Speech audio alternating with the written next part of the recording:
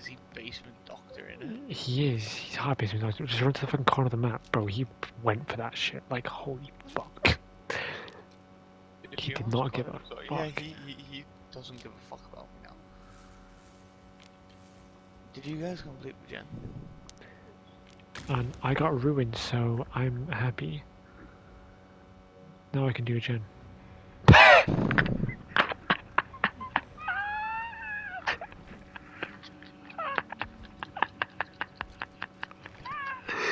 No.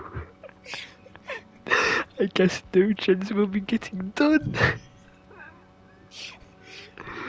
I got ruined, so I guess I'm gonna be.